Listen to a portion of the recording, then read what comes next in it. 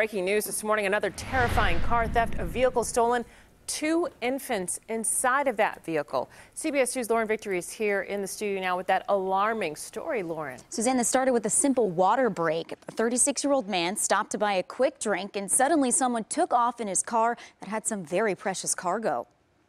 Cars at the gas station. His vehicle was just stolen when he went inside. His twins, five months boy and a girl, were in the vehicle. Now, as you just heard, the man had left his car running with the babies inside it outside a gas station on 87th and Cottage Grove around 12:15 this morning. Police say as he was making his water bottle purchase, the driver watched another man hop in his car and take off. Thankfully, those twins were found safe, parked in that stolen car about a half mile away. Gas station clerks described those horrifying five minutes. So the customer, when he saw the, his car stolen, he ran away after them, but he couldn't uh, catch him.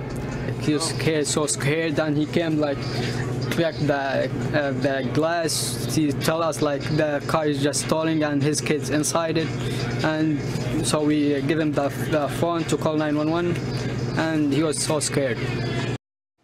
The situation is a reminder to never leave kids unattended. Police say nobody is in custody. Suzanne. Thanks so much, Lauren.